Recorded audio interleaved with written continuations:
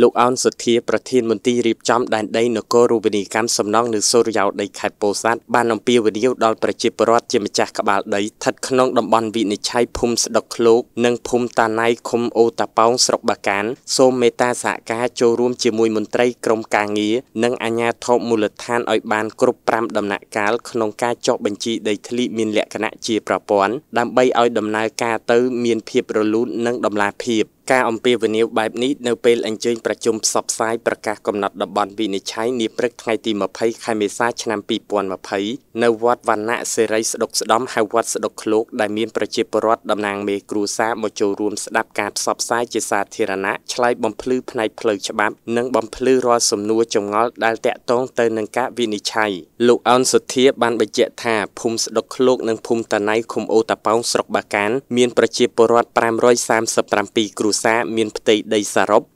1262ហិកតា ទាំងដីលំនៅឋាននិងដីសម្រាប់កសិកម្មត្រូវចាប់ផ្ដើមប្រកាសតំបន់វិនិច្ឆ័យក្នុងការចុះបញ្ជីដីធ្លីមានលក្ខណៈជាប្រព័ន្ធលោកបានជម្រាបជូនថាអំពីនីតិវិធីពាក់ព័ន្ធទៅនឹងការវាស់វែងនិងចុះបញ្ជីនេះមាន5ដំណាក់កាលគឺ1ដំណាក់កាលត្រៀមរៀបចំកំណត់តំបន់ធ្វើការវិនិច្ឆ័យ2ប្រតិបត្តិការបច្ចេកទេស3បិទប្រកាសផ្សាយជាសាធារណៈរយៈពេល15ថ្ងៃនៅឯកសារវិនិច្ឆ័យ4សម្រាប់លើឯកសារនិងទី5ការចេញវិញ្ញាបនបត្រសម្គាល់អចលនវត្ថុជូនដល់ប្រជាពលរដ្ឋជាម្ចាស់ក្បាលដី ដំណាក់កាលទាំង5នេះគឺទាមទារឲ្យមានការចូលរួមព្រោះថាមុននឹងឈានចូលទៅដល់ការចែកបានប្រជាពលរដ្ឋជាម្ចាស់ក្បាលដីទាំងអស់ត្រូវបោះបង្គោលព្រំបង្ហាញដីកំណត់ព្រំរវាងគ្នានឹងគ្នា មានឯកសារដូចជាអត្តសញ្ញាណប័ណ្ណសម្បត្តិកំណើតសិភៅគ្រួសារនិងប្លង់ដីប្លង់ស្លាបមន់យកមកបង្ហាញដល់មន្ត្រីក្រមការងារដើម្បីបំពេញឯកសារជូនបើមិនមានឯកសារទេនោះក្រុមការងារមិនប្រគល់បានថ្មីជូនឡើយ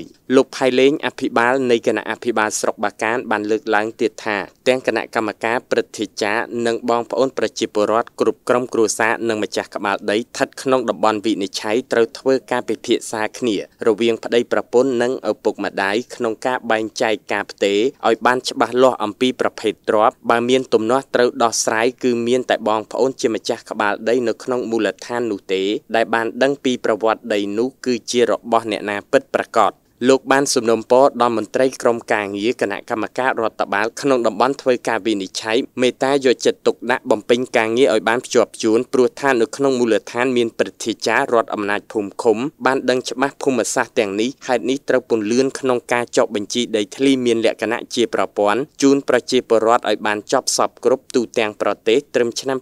2021នេះក្នុងនាមរដ្ឋបាលស្រុកលោកបានអំពាវនាវដល់អាជ្ញាធរមូលដ្ឋាន និងប្រជាពលរដ្ឋនៅក្នុងតំបន់នេះបន្តការផ្សព្វផ្សាយពីវិធានការរបស់ក្រសួងសុខាភិបាល ដើម្បីបញ្ជៀសនៅការឆ្លងរីករាលដាលជំងឺ Covid-19 និងសូមឲ្យប្រជាពលរដ្ឋយើងទាំងអស់គ្នាមានសុខភាពល្អជៀសផុតពីជំងឺដ៏កាចសាហាវនេះរួមគ្នាគោរពច្បាប់ចរាចរណ៍និងត្រូវចេះអព្យាស្រ័យឲ្យគ្នាទៅវិញទៅមកក្នុងពេលបើកបរ